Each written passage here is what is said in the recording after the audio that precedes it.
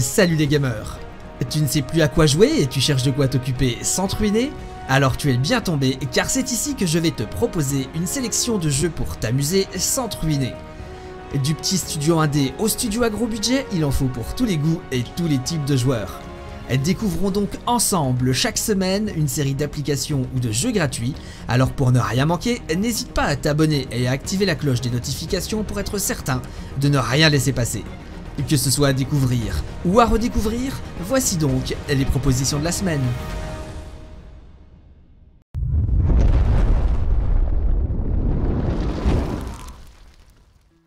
Allez, c'est parti avec le tout premier jeu de cette édition 2019 avec Minimax Tiniverse, édité et développé par le studio All Blue. Nous voici ici avec un titre mélangeant God Game et MOBA avec une pointe de Clash Royale. Vous y incarnerez un enfant qui, au fond d'un magasin de jouets un petit peu spécial, participera de façon plus ou moins directe à des combats de petits bonhommes divisés en deux royaumes, LA et Créacea. En début de partie, vous choisissez votre champion, vos troupes de combattants ainsi que les sorts que vous souhaiterez utiliser durant la partie. Votre but est simple, il s'agira de conquérir la première tour de votre adversaire, puis la seconde, et pour finir, la base de votre ennemi. Ces parties qui ont donc lieu en 1v1 sont rythmées et dynamiques, ne laissant pas la place au temps mort. Comptez plus ou moins 5 minutes pour une partie en moyenne.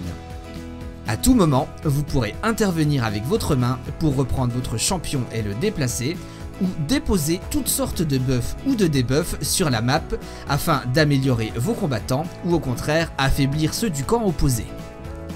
Il est également possible de construire quelques éléments sur la carte, toujours dans le but de profiter à votre armée ou de nuire à celle de votre adversaire. Visuellement, eh bah, c'est franchement pas dégueulasse, et en plus c'est coloré, c'est fluide, bref, c'est propre. Minimax Tiniverse, c'est le jeu parfait pour vous occuper le temps de quelques parties, ou bien pour s'y investir et monter dans le classement compétitif. C'est fun et on se laisse facilement prendre au jeu.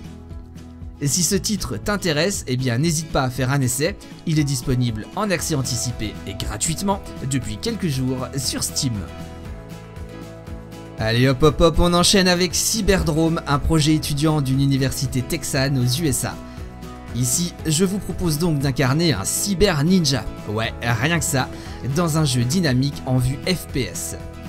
Vous allez pouvoir vous défouler et vous déchaîner en tailladant des robots avec votre sabre technologique. Ici, pas d'armes à feu, uniquement vous et votre lame tranchante pour couper les ennemis en deux, ainsi que pour renvoyer les projectiles ennemis.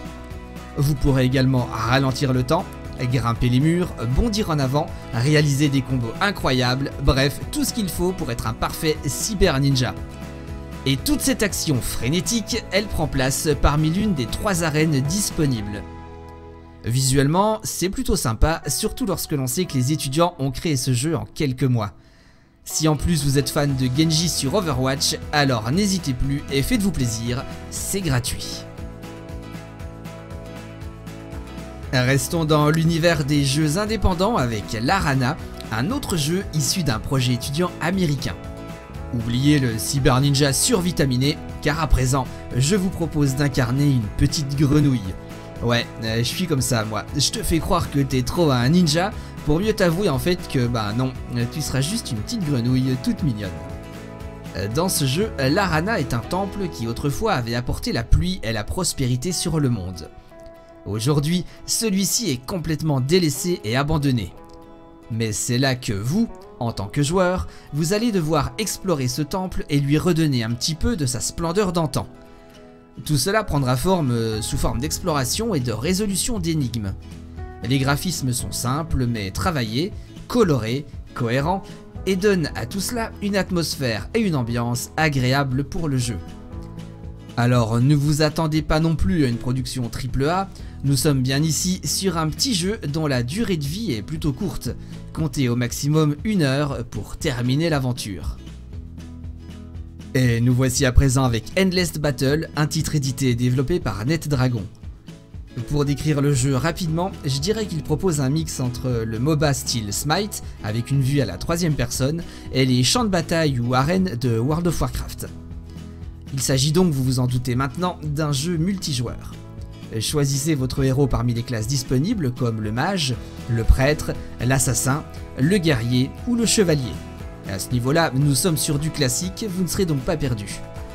Vous pourrez également le personnaliser visuellement mais aussi au niveau de ses compétences en les choisissant et en les mixant grâce à un système de cartes à collectionner. Pour les modes de jeu, Endless Battle propose du combat à 3 contre 3 en arène, le mode MOBA en 5 contre 5 ou bien un champ de bataille à 10 contre 10. Et graphiquement, eh bien c'est plutôt réussi. C'est fluide et cela peut rappeler tout de même pas mal World of Warcraft. Un titre qui devrait plaire aux amateurs de combat d'arène comme on peut en trouver dans les MMO. Et voilà les petits amis, nous sommes arrivés au terme de cette sélection de jeux gratuits pour PC et pour cette semaine. Si vous avez apprécié, je vous invite à lâcher un petit pouce positif ainsi qu'un commentaire dans l'espace réservé. Je vous rappelle brièvement le principe, tous les samedis ou presque, je vous donne rendez-vous afin de vous proposer de découvrir ou de redécouvrir entre 3 et 5 jeux gratuits sur PC. Moi je vous laisse ici, j'espère que cette première édition de la toute nouvelle année 2019 vous aura plu. Sur ce, je vous souhaite à tous d'excellentes sessions de gaming, un très bon week-end et je vous dis à très bientôt les gamers, ciao bye bye